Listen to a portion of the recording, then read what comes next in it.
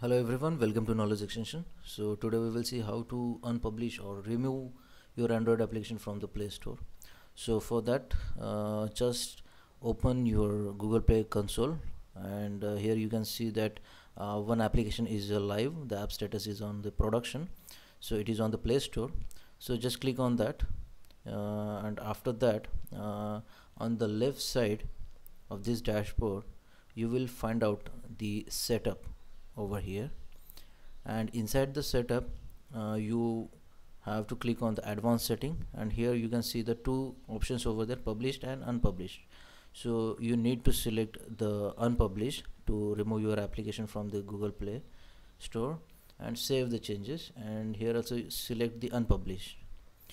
After uh, doing this uh, your application is completely uh, unavailable on the google play store okay so uh, let's check the status of uh, our android applications. So uh, again go to the uh, home page uh, that is the all apps and uh, refresh your dashboard. After that you will find out that app status is now unpublished. So it is mean that your application is not visible on the google play store. So republish your applications. Again the follow the same step in the advanced setting you have to choose the published option and save changes and select here published like this.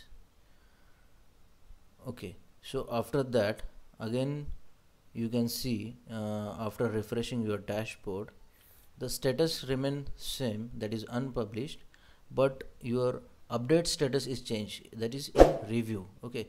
So after republishing your application will be uh, reviewed again and then after your application is uh, then visible to the google play store. Okay. So this is very simple steps. Uh, so please like share and subscribe this channel. Thank you